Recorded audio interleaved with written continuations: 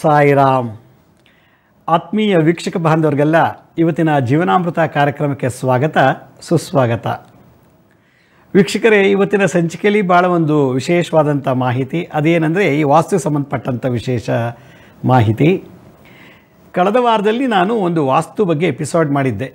ಮನೆಯಲ್ಲಿ ಕಲಹಳ ಯಾಕಾಗತ್ತೆ? ವಾಸ್ತು ದೋಷ ಇದೆಯಾ? ವಾಸ್ತು ದೋಷ ಇದ್ದರೆ ಏನು? ವಾಸ್ತು ದೋಷ ಇಲ್ಲ ಅಂದರೆ ಏನು ಅನ್ನೋ ಬಗ್ಗೆ ನನ್ನದೇ ಆದಂಥ ಒಂದು ಅನುಭವನ ನಿಮ್ಮ ಕಳೆದ ಸಂಚಿಕೆಯಲ್ಲಿ ತಿಳಿಸ್ಕೊಟ್ಟಿದ್ದೆ. ಓ ಕಂಪ್ಲೀಟಾಗಿ ಹೇಳೋದಾದರೆ ವಾಸ್ತು ದೋಷ ಅನ್ನೋದು ಇಲ್ಲವೇ ಇಲ್ಲ ಅಂತ ನನ್ನ ವಾದ. ಅದ್ರ ಬಗ್ಗೆ ನಾನು ಸಾಕಷ್ಟು ಕಳೆದ ಸಂಚಿಕೆಯಲ್ಲಿ ಉದಾಹರಣೆಗಳ ಮೂಲಕ ನಾನು ನಿಮಗೆ ತಿಳುವಳಿಕೆ ನೀಡಿದ್ದೆ. ಇವತ್ತು ಅದೇ ವಿಷಯವಾಗಿ ನಾನು ಒಂದು ಹೊಸ ಅನುಭವನ ನಿಮ್ಮೊಂದಿಗೆ ಹಂಚ್ಕೊಳ್ಳಿಕ್ಕೆ ಪ್ರಯತ್ನ ಪಡ್ತೀನಿ. ಎಲ್ಲರೂ ಹೇಳ್ತಾರೆ ನಮ್ಮ ಮನೆಗೆ ಈ ಬಂದ ಮೇಲಿಂದನೇ ನನಗೆ ಏನು, ಭಾಳ ಸರ್ಕಾರದಿಂದ ಕೆಲಸ ಕಳ್ಕೊಂಡೆ, ಸರ್ಕಾರದಿಂದ ತುಂಬ ತೊಂದರೆ ಆಯಿತು ಅಂತ ಹೇಳ್ತಾರೆ. ಕೆಲವರು ಹೇಳ್ತಾರೆ, ನಾನು ಈ ಮನೆಗೆ ಕಾಲಿಟ್ಟ ಮೇಲೇ ಈ ಮನೆಗೆ ಬಂದ ಮೇಲಿಂದನೇ ನನಗೆ ಸಾರ್ವಜನಿಕರಿಂದ ಆಜುಬಾಜುವರಿಂದ ಪಕ್ಕದ ಮನೆಯವರು, ಇದ್ಲು ಮನೆಯವರಿಂದ, ಬೇರೆ, ಬೇರೆಯವ್ರ ಜನರಿಂದ ನನಗೆ ಸಿಕ್ಕಾಪಟ್ಟೆ ತೊಂದರೆ ಆಗ್ತಿದೆ ಅಂತ ಹೇಳ್ತಾರೆ. ಕೆಲವರು ಹೇಳ್ತಾರೆ, ನಾನು ಈ ಮನೆ ಕಾಲಿಟ್ಟಿದ ತಕ್ಷಣ ನನಗೆ ಈ ಮನೆ ಭೂಮಿ ವಿಚಾರ ಅದು ಜಮೀನ್ದು, ಹೊಲ, ಗದ್ದೆದು, ತೋಟದ್ದು. ಸಾಕಪ್ಪ, ಸಾಕು ಅನಿಸ್ಬಿಟ್ಟಿದೆ. ಈ ಮನೆಗೆ ಬಂದಮೇಲೆ ಭೂಮಿಗೆ ಸಂಬಂಧಪಟ್ಟಂಥ ವಿಚಾರಗಳಲ್ಲಿ ಕೋರ್ಟ್ ಕಲ್ದಿದ್ದೇ ಅಲ್ದಿದ್ದು ಭಾಳ ಬೇಜಾರಾಗೋಗ್ಬಿಟ್ಟಿದೆ ಅಂತಾರೆ.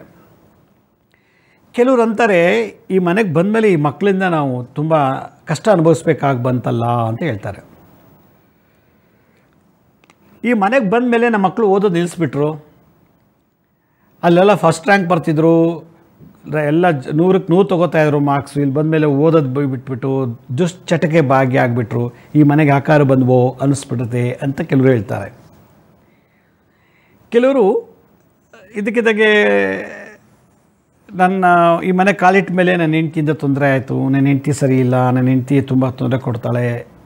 ಆ ಮನೇಲಿದ್ದಾಗ ಎಷ್ಟೋ ಚೆನ್ನಾಗಿದ್ವಿ. ಈ ಈ ಮನೇಲಿದ್ದಾಗ ಎಷ್ಟೋ ಚೆನ್ನಾಗಿದ್ವಿ. ಇಲ್ಲಿ ಬಂದಮೇಲೆ ನನ್ನ ಹೆಂಡ್ತಿಯಿಂದ ನನಗೆ ಬಹಳಷ್ಟು ನೋವಿದೆ ಅಂತಾರೆ. ಅದೇ ಹೆಂಗಸರು ಈ ಮನೆ ಕಾಲಿಟ್ಟ ಮೇಲೆ ನನ್ನ ಗಂಡದಿಂದ ಭಾಳಷ್ಟು ನೋವುಗಳು ಅನುಭವಿಸ್ತಾ ಇದ್ದೀನಿ.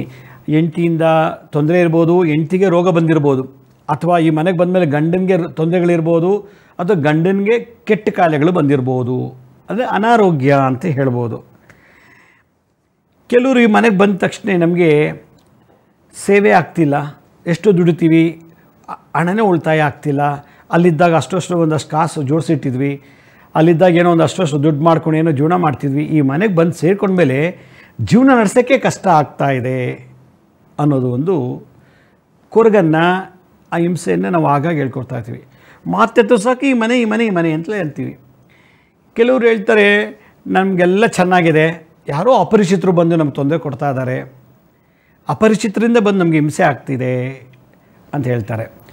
ಇನ್ನೊಬ್ಬರು ಈ ಮನೆ ಕಾಲಿಟ್ಟ ತಕ್ಷಣವೇ ನಮಗೆ ಮಾಟ ಮಂತ್ರಗಳು ಜಾಸ್ತಿ ಆಗೋಯ್ತು ರೀ. ಅಲ್ಲಿದ್ದಾಗ ಎಷ್ಟು ಚೆನ್ನಾಗಿದ್ವಿ. ಇಲ್ಲಿ ಬಂದಾಗ ನಮಗೆ ಅದೇ ಆ ಪ್ರಾಬ್ಲಮ್ ಆಯಿತು. ಮನೆ ಮುಂದೆ ಏನೋ ತಂದಾಕ್ತಾರೆ ಇವರೇನೋ ಮಂದಾಕ್ತಾರೆ ಅವರೇನೋ ತಂದಾಕ್ತಾರೆ. ಅಯ್ಯೋ ಅಯ್ಯೋ, ಹೇಳೋಕ್ಕೆ ಅಸಾಧ್ಯ ರೀ.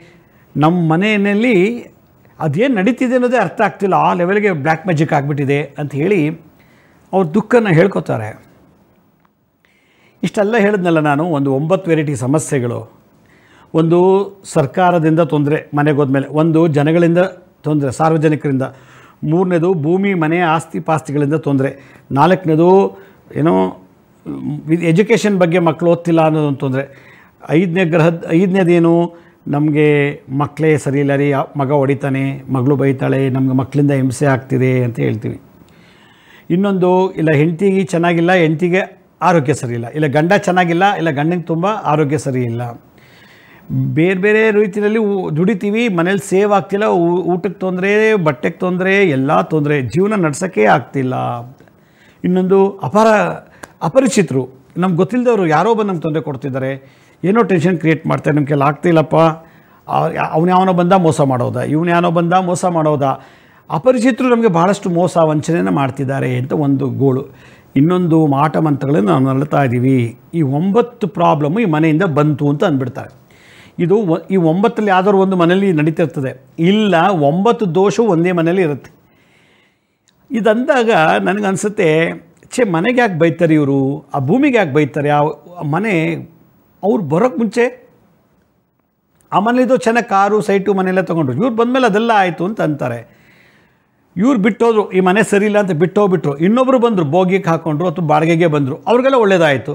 ಮತ್ತು ಈ ಮನೆಯವ್ರಿಗೆ ಯಾಕೆ? ಹಿಂದಿದ್ದವನಿಗೂ ಒಳ್ಳೇದಾಯಿತು. ಇವ್ರು ಬಿಟ್ಟೋದ್ಮೇಲೆ ಇನ್ನೊಬ್ರಿಗೆ ಒಳ್ಳೇದಾಯಿತು ಅಂದರೆ ಇವರು ಇದ್ದಾಗ ಯಾಕೆ ಈ ಸಮಸ್ಯೆ ಆಯಿತು ಅನ್ನೋದನ್ನು ಯಾರೂ ಗಂಭೀರವಾಗಿ ಯೋಚನೆ ಮಾಡೋದಿಲ್ಲ. ಯಾತಕ್ಕೆ ಯೋಚನೆ ಮಾಡೋದಿಲ್ಲ ಅಂದರೆ ಎಲ್ರಿಗೂ ಗೊತ್ತಾಗ್ಬಿಟ್ಟಿದೆ ವಾಸ್ತು ದೋಷ ಅಂಥೇಳಿ. ವಾಸ್ತು ದೋಷ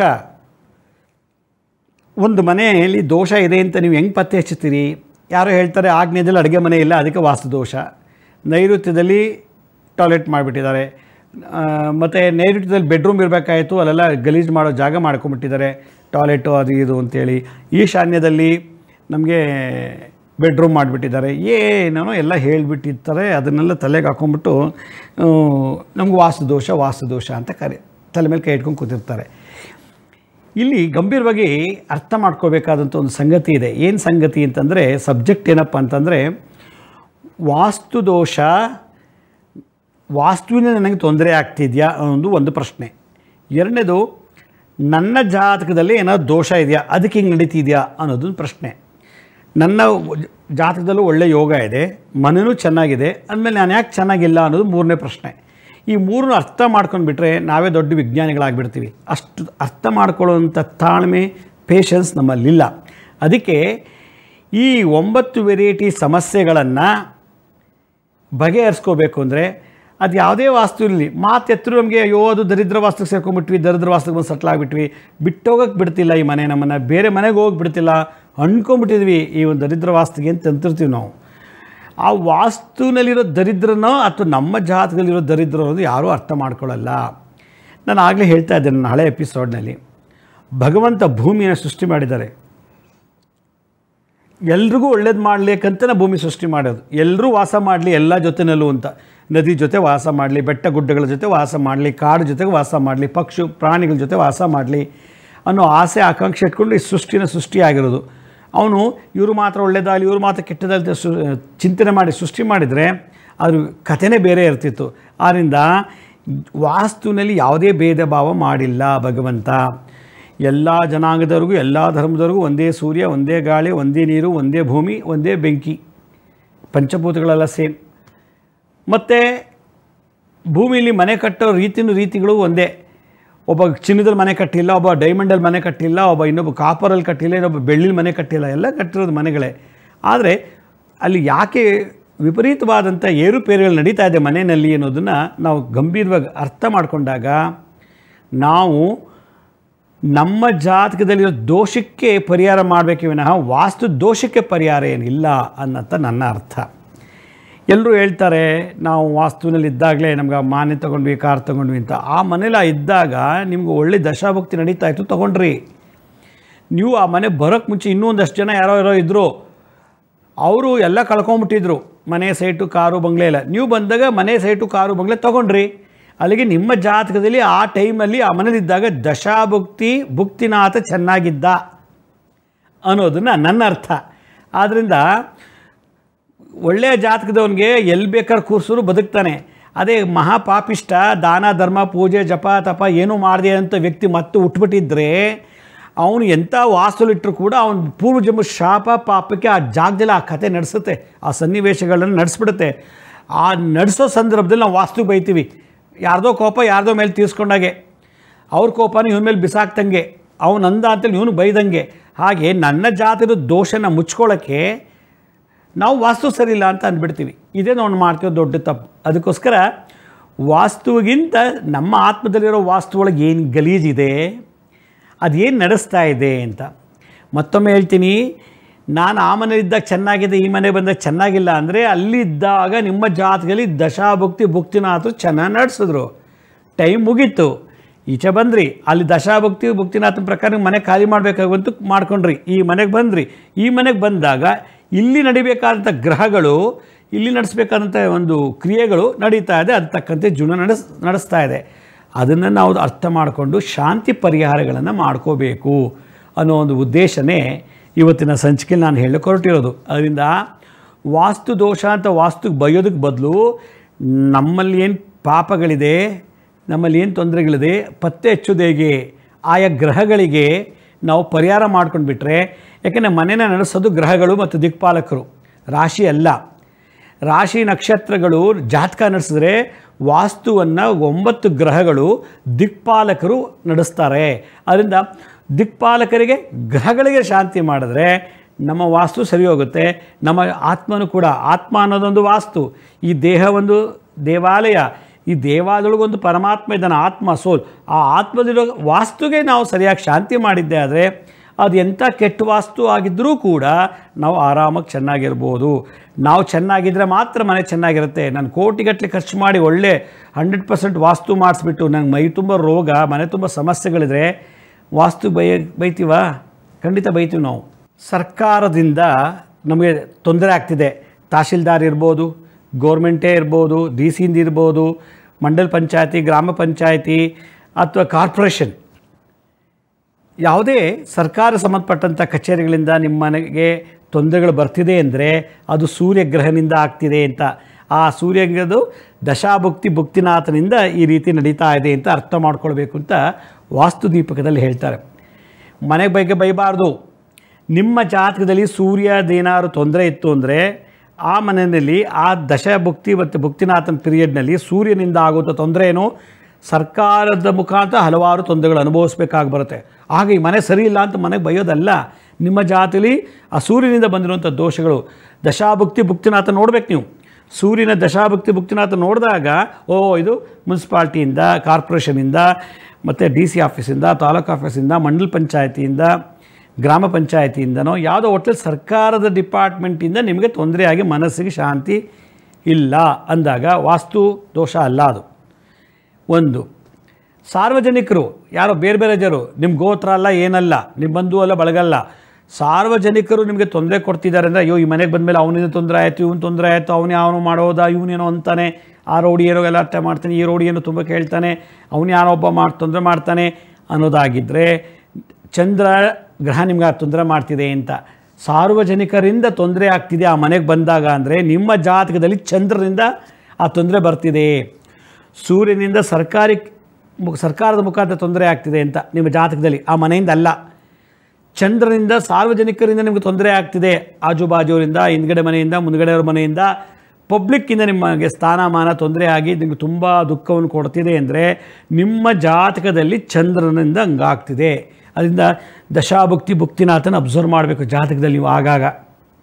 ಅದು ಮನೆಯ ದೋಷ ಅಲ್ಲ. ಮೂರನೇದು ಸೈಟಿಂದ, ಮನೆಯಿಂದ, ತೋಟದಿಂದ, ಹೊಲದಿಂದ, ಗದ್ದೆಯಿಂದ, ಭೂಮಿಗೆ ಸಂಬಂಧಪಟ್ಟಂಥ ವಿಚಾರಗಳಲ್ಲಿ ನಮಗೆ ಆ ಮನೇಲಿ ತುಂಬ ತೊಂದರೆಗಳು ಕೊಡ್ತಾ ಇದೆ, ಬಾಧೆಗಳಾಗ್ತಿದೆ, ಸಂಕಟ ಪಡ್ತಾ ಇದ್ದೀವಿ ತುಂಬ ತೊಂದರೆಯಲ್ಲಿ ಸಿಗಾಕೊಂಡಿದ್ದೀವಿ ಭೂಮಿಗಳ ವಿಚಾರದಿಂದ ಅಂದರೆ ಮಂಗಳ ಗ್ರಹ ನಿಮ್ಮ ಜಾತಕದಲ್ಲಿ ಆ ಥರ ಮಾಡಿಸ್ತಾ ಇದ್ದಾನೆ. ಆಗ ದಶಾಭಕ್ತಿ ಭಕ್ತಿನಾಥನ ನೀವು ಜಾತಕದಲ್ಲಿ ಅಬ್ಸರ್ವ್ ಮಾಡಬೇಕು. ಆ ಮಂಗಳ ಗ್ರಹದಿಂದ ಇತ್ತ ತೊಂದರೆ ಆಗ್ತಿದೆ ಅಂತ. ಮನೆಯಿಂದ ಅಲ್ಲ. ಇದಕ್ಕಿದ್ದಾಗೆ ಮಕ್ಕಳೇನು ಮಾಡ್ತಾರೆ? ಓದ್ತಿದ್ದವರೆಲ್ಲ ಫೇಲ್ ಆಗುತ್ತಾರೆ ರ್ಯಾಂಕ್ ಬರಲ್ಲ, ಅವನು ಏನೋ ಕುಡಿಯೋಕೆ ಹೋಗ್ದ ಸ್ಮೋಕ್ ಮಾಡೋಕೆ ಹೋಗ್ತಾನೆ ಡ್ರಗ್ಸ್ ತೊಗೋತಾನೆ, ಅವಳೇ ನಿಮ್ಮ ಮಗಳು ಅವನ ಜೊತೆ ಪ್ರೀತಿ ಮಾಡ್ಕೊಂಡು ಹೋಗ್ಬಿಡ್ತಾಳೆ. ಓದೋದೆಲ್ಲ ಬಿಟ್ಟು ಮಕ್ಕಳಿಂದ ಚಿಂತೆ ಶುರು ಮಾಡಿಬಿಡ್ತದೆ ಆ ಮನೆಗೆ ಬಂದ ನಿಮಗೆ. ಆಗ ಆ ದಶಾಭುಕ್ತಿ ಭುಕ್ತಿನಾಥ ಯಾವುದು ಗೊತ್ತಾ? ಬುಧ. ಬುಧನ ನೋಡಬೇಕು, ಬುಧ ಏನು ಮಾಡ್ತಿದ್ದಾನೆ ಈ- ವರ್ಷ ನನ್ನ ಜಾತಕದಲ್ಲಿ. ಇದ್ದಾಗ ಆ ಬುಧನ ಮುಖಾಂತರ ನಿಮ್ಮ ಮನಸ್ಸಿಗೆ ತೊಂದರೆ ಆಗ್ತಿದೆ ಅಂದರೆ ಮಕ್ಕಳ ಮುಖೇನ ಅಪ್ಪ ಅಮ್ಮನಿಗೆ ತೊಂದರೆ ಮನೆಯಲ್ಲಿ. ಮನೆ ವಾಸ್ತು ದೋಷದಿಂದ ಅಲ್ಲ ನಿಮ್ಮ ಮನೇಲಿ ಮಕ್ಕಳಿಂದ ತೊಂದರೆ ಆಗಿ ಹೇಳಿದ ಮಾತು ಕೇಳಲ್ಲ, ಹಠ ಮಾಡ್ತಾರೆ, ಆ ಮಗ ಹೊಡಿತಾನೆ, ಮಗಳು ಸರಿ ಇಲ್ಲ, ಮಗಳು ಹಠ ಮಾಡ್ತಾಳೆ, ಓದ್ತಿಲ್ಲ, ಮಗ ದುಶ್ಚಟಗಳಿಗೆ ಭಾಗಿಯಾಗಿದ್ದಾನೆ ಸ್ಮೋಕ್ ಮಾಡ್ತಾನೆ ಡ್ರಿಂಕ್ಸ್ ಮಾಡ್ತಾನೆ ಸೆಕ್ಸ್ ಮಾಡ್ತಾನೆ, ಮಾಡಬಾರ್ದಲ್ಲ, ಕೆಲಸಗಳೆಲ್ಲ ಮಾಡ್ತಿದ್ದಾನೆ ಅಂತಂದರೆ, ದಶಾಭುಕ್ತಿ ಭುಕ್ತಿನಾಥ ನೋಡಿದಾಗ ಬುಧನಿಂದ ತೊಂದರೆ ಆಗ್ತಿದೆ. ಆ ಮನೆ ವಾಸ್ತುವಿಂದ ಅಲ್ಲ ಇದಕ್ಕಿದ್ದಾಗಿ ನಾವು ಎಲ್ಲ ಸುಮ್ಮನೆ ಮಕ್ಕಳು ಇದಕ್ಕಿದ್ದಾಗ ಮನೆ ಬಿಟ್ಟು ಹೊಟ್ಟೋದ ಮಗಳು ಅವನ ಜೊತೆ ಓಡೋಡ್ಬಿಟ್ಲು ಮತ್ತು ಮಗಳಿಂದ ಏನೋ ತೊಂದರೆ ಆಯಿತು, ಮಗಳಿಂದ ಸಾಲ ಬಾಧೆ ಜಾಸ್ತಿ ಆಗೋಯ್ತು, ನಾನಂತೂ ಸಾಲ ಮಾಡಿಲ್ಲಪ್ಪ, ಆದರೆ ಮಗ ಸಾಲ ಮಾಡಿದ್ದಾನೆ ಅಂತ ಬಂದು ಮನೆ ಮುಂದೆ ಗಲಾಟೆ ಮಾಡ್ತಿದ್ದಾರೆ. ಯಾರು? ಆ ಗುರುಗ್ರಹ. ಆವಾಗ ಮಕ್ಕಳಿಗೆ ತೊಂದರೆ ಆಗ್ತಿದೆ ಅಂತ ಅರ್ಥ ಮಾಡ್ಕೋಬೇಕು. ಆಗ ದಶಾಭಕ್ತಿ, ಭುಕ್ತಿನಾಥ ಜಾತಕಗಳು ಏನಿದೆ ನೋಡಬೇಕು. ಓ, ಮಕ್ಕಳಿಂದ ಮಕ್ಕಳಿಗೆ ತೊಂದರೆ ಆಗ್ತಿದೆ. ಮಕ್ಕಳಿಂದ ತೊಂದರೆ ಆಗ್ತಿದೆ, ನನಗೂ ಆಗ್ತಿದೆ ಮಕ್ಕಳಿಗೂ ತೊಂದರೆ ಆಗ್ತಿದೆ, ಗುರು ಪ್ರಾಬ್ಲಮ್ ಇದೆ, ಹಾಗೂ ಗುರು ಗ್ರಹಕ್ಕೆ ಶಾಂತಿ ಮಾಡಬೇಕು ಆ ಮನೆ ಒಳಗಡೆ ನೀವು. ವಾಸ್ತುಗೆ ಬೈಯೋದಲ್ಲ, ಮನೆ ಖಾಲಿ ಮಾಡ್ಕೊಂಡು ಹೋಗೋದಲ್ಲ. ಹೆಂಡ್ತಿ ಮನೆಗೆ ಬಂದಮೇಲೆ ಕಾಯಿಲೆ ಬಿದ್ದುಬಿಟ್ಲು ಈ ಮನೆ ಕಾಲಿಟ್ಟಾಗಲೇ ಗಂಡಂಗೆ ಆರೋಗ್ಯ ಹಾಳಾಯಿತು. ಹೆಂಡತಿ ಗಲಾಟೆ ಮಾಡ್ತಾಳೆ, ಈ ಮನೆಗೆ ಬಂದಮೇಲೆ ಗಂಡ ಸಿಕ್ಕಾಪಟ್ಟೆ ಕುಡಿದು, ಒಡೆದು ಬಿಡದು ಮಾಡ್ತಾನೆ ಅಂತಂದರೆ ಶುಕ್ರನ ಪ್ರಾಬ್ಲಮ್ ಇದೆ ಅಂತ ಆಯಿತು ನಿಮ್ಮ ಜಾತಕದಲ್ಲಿ ಮನೆ ಒಳಗಲ್ಲ. ಅದರಿಂದ ದಶಾಭುಕ್ತಿ, ಭುಕ್ತಿನಾಥ ನಿಮ್ಮ ಜಾತಕಗಳು ಏನಿದೆ ನೋಡಬೇಕು. ಶುಕ್ರ, ಆಗ ಶುಕ್ರ ಗ್ರಹಕ್ಕೆ ಶಾಂತಿ ಮಾಡಬೇಕು. ಆಗ ಈ ಪ್ರಾಬ್ಲಮ್ ಹೋಗುತ್ತೆ. ಜೀವನ ನಡ್ಸೋಕ್ಕೆ ಕಷ್ಟ ಆಗ್ತಿದೆ. ಇಲ್ಲಿ ದುಡಿತೀವಿ ಹತ್ತು ರೂಪಾಯಿ ಬಂತು, ಒಂದು ಸಾವಿರ ರೂಪಾಯಿ ಖರ್ಚಿದೆ. ಒಂದು ಸಾವಿರ ರೂಪಾಯಿ ಬಂತು, ಅಲ್ಲಿ ಬಟ್ಟಂತೆ ಐದು ಸಾವಿರ ರೂಪಾಯಿ ಖರ್ಚಾಯಿತು. ಹಾಸ್ಪಿಟ್ಲಿಗಂತೆ, ಅದೇನೋ ಟೈರ್ ಪಂಚರ್ ಆಯ್ತಂತೆ, ಅದೇನೋ ಆಯಿತು ಅಂತೇಳಿ ಊಟ, ತಿಂಡಿ ಮಾಡೋಕ್ಕೆ ದುಡ್ಡಿಲ್ಲ. ತುಂಬ ಕಷ್ಟಪಡ್ತಿದ್ದೆ. ನನಗೆ ತಲೆ ಮೇಲೆ ಕೈ ಹಿಡ್ಕೊಂಡು ಕುತ್ಕೊಂಡ್ಬಿಟ್ಟಿದ್ದೀನಿ. ಅಷ್ಟು ಬೇಜಾರಾಗ್ಬಿಟ್ಟಿದೆ. ಅಂದರೆ ಶನಿ ದೋಷ. ಮನೆದಲ್ಲ. ನಿಮ್ಮ ಜಾತಕದಲ್ಲಿ ಶನಿ ಇದ್ದಾನೆ. ಶನಿ ದಶಾಭುಕ್ತಿ ಭುಕ್ತಿನಾಥ ನೋಡಿದಾಗ, ಓ, ಶನಿದು ಇದು, ಆಗ ಶನಿ ಶಾಂತಿ ಮಾಡಬೇಕು ಅಂತ ಹೇಳಿದ್ರು. ಎಲ್ಲ ಆಯಿತು. ಇದಕ್ಕಿದ್ದಾಗೆ ಯಾರೋ ಬಂದ, ಚಿಟಿ ಹಾಕಿಂತ ಹಾಕ್ಸ್ಬಿಟ್ಟ, ಮೋಸ ಮಾಡಿಬಿಟ್ಟ. ಯಾರೋ ಬಂದ, ಇದು ತೊಗೊಳ್ಳಿ, ಅದು ತೊಗೊಳ್ಳಿ ಅಂತೇಳಿ ಮೋಸ ಮಾಡ್ದ. ಅಪರಿಚಿತರು ಬಂದು ನಮ್ಗೆ ಮೋಸ ಮಾಡಿ ಹೋಗ್ಬಿಟ್ರು.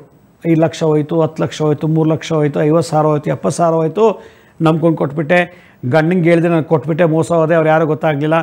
ನಾನು ಹೆಂಡ್ತಿಗೂ ಮಕ್ಳಿಗೆ ಹೇಳಿಲ್ಲ, ಏನೋ ಮಾಡಿಕೊಟ್ಟೆ, ಮೋಸ ಹೋಗ್ಬಿಟ್ಟೆ, ಗೊತ್ತಾಗಲಿಲ್ಲ.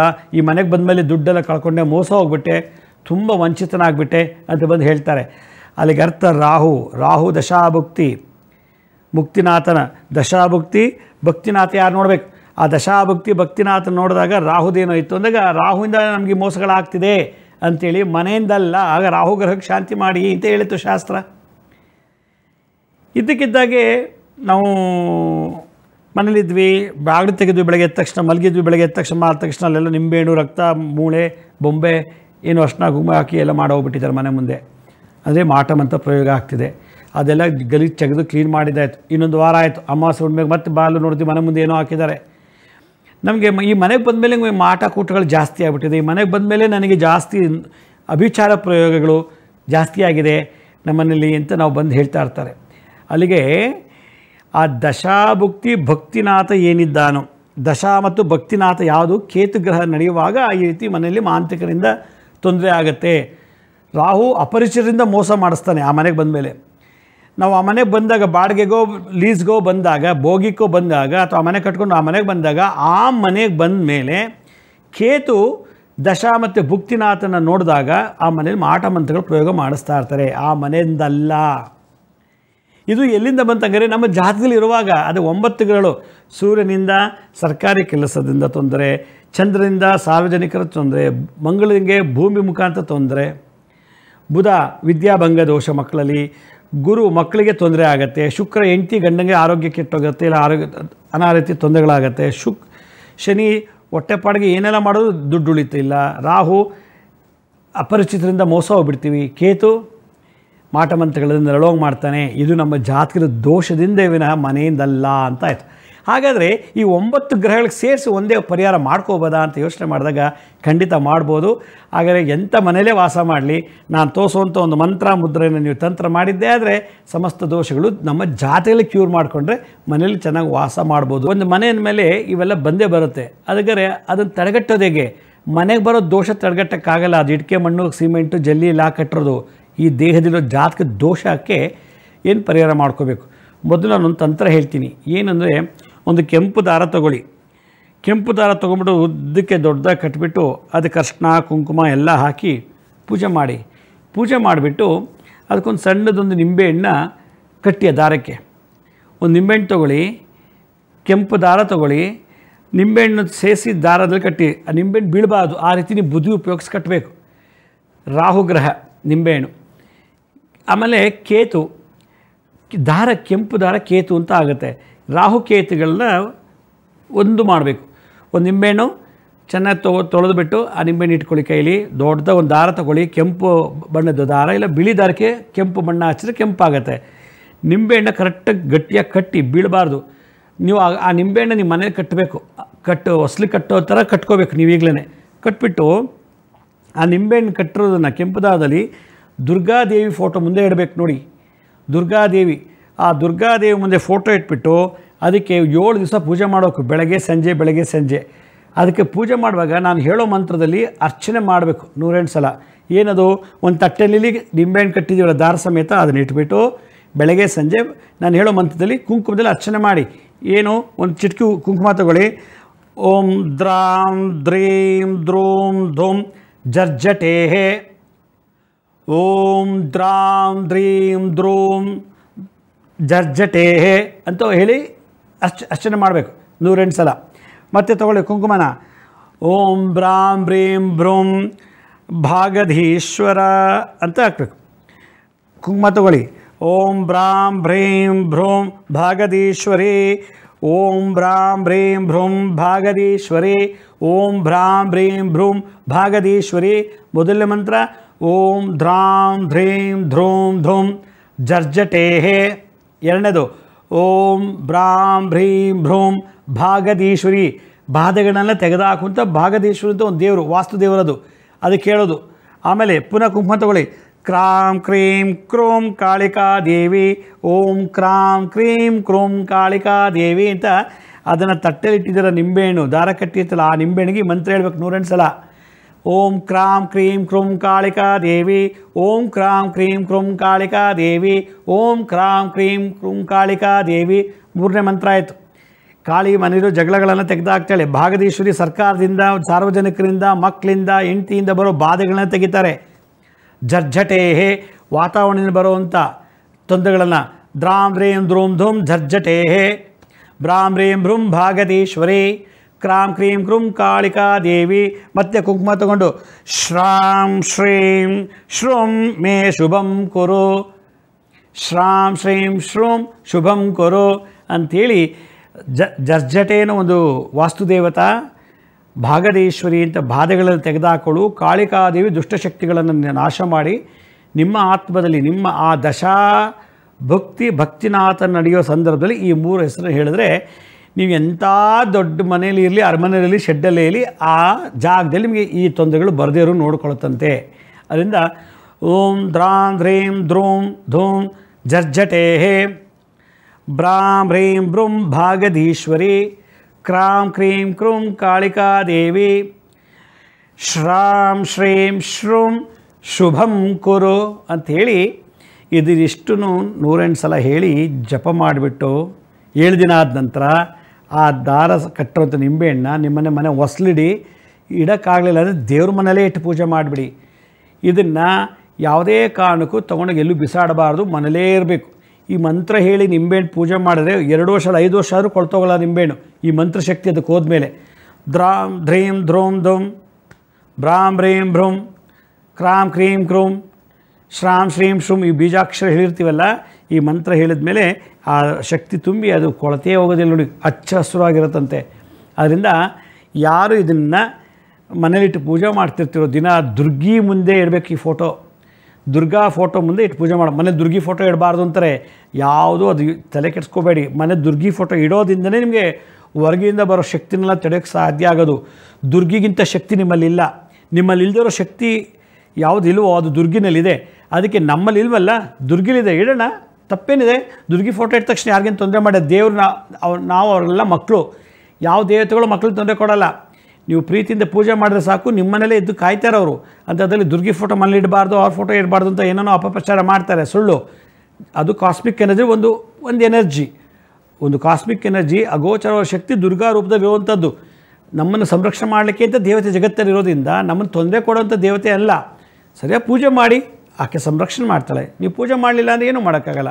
ಅದರಿಂದ ಈ ಮನೆ ಸರಿ ಇಲ್ಲ ಆ ಮನೆ ಸರಿ ಇಲ್ಲ ಆ ತೋಟ ಸರಿ ಇಲ್ಲ ಅದು ಸರಿ ಇಲ್ಲ ಆ ಲಾಡ್ಜ್ ಸರಿ ಇಲ್ಲ ಈ ಥಿಯೇಟ್ರ್ ಸರಿ ಇಲ್ಲ ಈ ಬಾರ್ ಸರಿ ಇಲ್ಲ ಈ ಆಫೀಸ್ ಸರಿ ಇಲ್ಲ ಅಂತೇಳಿ ಖಾಲಿ ಮಾಡ್ಕೊಂಡು ಹೋಗೋದ್ರ ಬದಲು ದುರ್ಗಾದೇವಿ ಮುಂದೆ ಇದನ್ನಿಟ್ಟು ಪೂಜೆ ಮಾಡಿ ನಿಮಗೆ ಸಕಲವೂ ಪ್ರಾಪ್ತಿಯಾಗ್ತದೆ ಆದ್ದರಿಂದ ಈ ಒಂದು ವಾಸ್ತು ವಾಸ್ತು ಅಂತೇಳಿ ಎಲ್ರಿಗೂ ಭಾಳಷ್ಟು ಜನ ದುಡ್ಡು ಕಳ್ಕೊತಾ ಇದ್ದೀರಿ.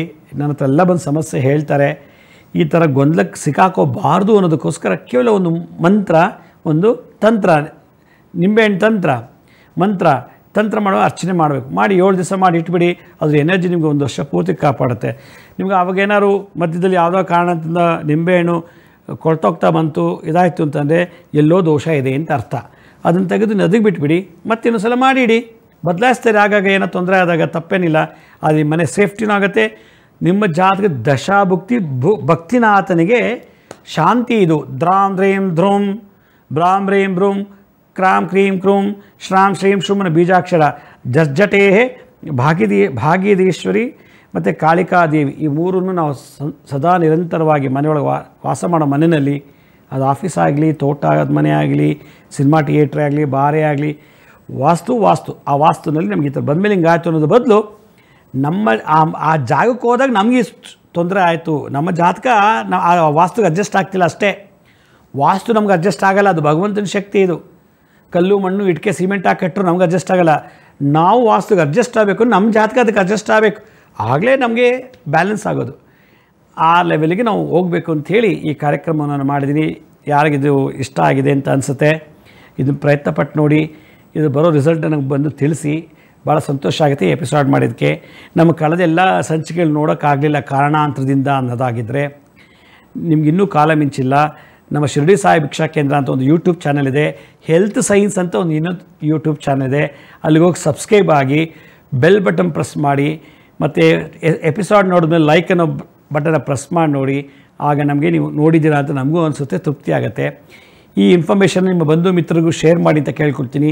ಯೂಟ್ಯೂಬ್ ಮುಖಾಂತರ ಅಥವಾ ಫೇಸ್ಬುಕ್ಕಿಂತ ಮತ್ತು ವಾಟ್ಸಪ್ ಮುಖಾಂತರ ಇಮೇಲ್ ಮುಖಾಂತರ ಈ ಲಿಂಕನ್ನು ಶೇರ್ ಮಾಡಿ ಅವ್ರಿಗೂ ಒಳ್ಳೆಯದಾಗಲಿ ಅಂತ ಹೇಳ್ತಾ ನಾಳಿನ ಸಂಚಿಕೆಯಲ್ಲೂ ಒಂದು ವಿಶೇಷವಾದಂಥ ವಾಸ್ತು ಬಗ್ಗೆ ಮಾಹಿತಿನ ತೊಗೊಂಡು ಬರ್ತೀನಿ ಅಂತ ಹೇಳ್ತಾ ಇವತ್ತಿನ ಸಂಚಿಕೆಯನ್ನು ಮುಗಿಸ್ತೀನಿ. ಎಲ್ಲರಿಗೂ ನಮಸ್ಕಾರ.